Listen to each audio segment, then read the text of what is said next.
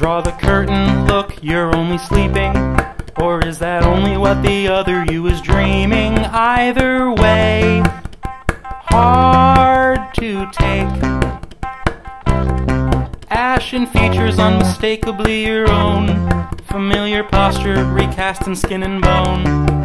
Person from today, here is you in 2082. Remove your helmet, first equalize the pressure.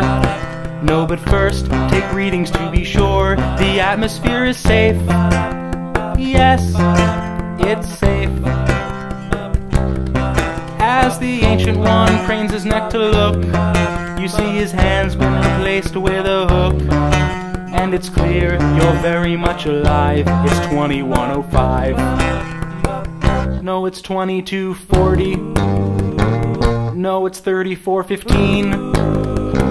How can you still be living? What does this mean? You must honor and respect the older fellow, even as you suffocate him with his pillow. Though you're strong, he was wise. There is much you and though you leave and travel back to your own age, you will meet again, you too, in 2082. What was the look he gave intended to convey? Was there something else he was trying to say? It will all be revealed to you in 2082.